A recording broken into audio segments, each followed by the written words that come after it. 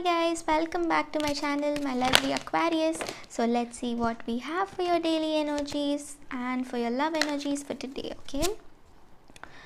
Okay guys so if you're planning on something you are like cutting down the plan or you're like uh, not uh, ready to accept the plan with your friends or something uh, like that okay? So you're planning on something today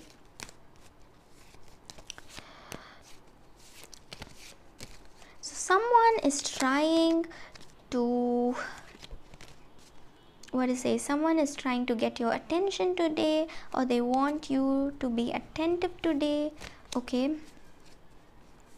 So whatever you're doing someone is doing the total opposite okay someone is being contrary with you and difficult with you today okay? It might be your children it might be someone who is really close to you who is having this kind of an attitude. Someone is acting really uh, bad with you or like they're dealing i mean you're dealing with a lot of uh, contrary issues okay let's see what else is coming up for you capricorn. I mean you're dealing with a capricorn also oh my god why am i saying capricorn? So i think we might have a connection between this disruptive behavior and your intense on honoring. Okay guys so mostly you are honoring your priorities today. You're going to uh, do whatever you feel is good on your part okay? If your person left you or something like that we also have a family situation going on here. If you think your person left you or something like that you're going to accept the fact that yes this is your life now okay? And you're going to accept the fact that your life is like this and you're going to face it in a good mindset okay? For you capricorn okay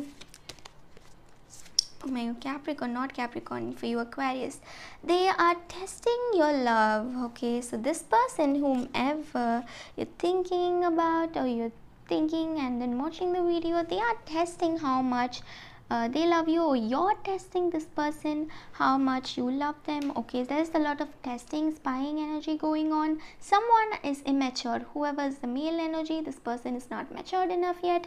It might be a pisces you're dealing with. It might be a sagittarius a virgo a taurus a virgo capricorn. Okay you're dealing with these kind these people because we have a pisces strong pisces in their chart. Okay so you guys are also trying to keep everything together. You're working a lot a lot of effort. You're putting a lot of effort into this relationship and you're not sure that if your person is doing the same. Okay so you guys were sitting and crying all night. You're facing a lot of emotions lately but then you realize that these emotions are not going to help and then you stop putting a lot of emotions into this relationship okay Aquarius, for some of you, I also feel this was a destined connection for you all because you have a nice uh, connection with this person. You even shared past lives together for most of you, I feel. Okay. So, this is all I have for you guys, all your energies.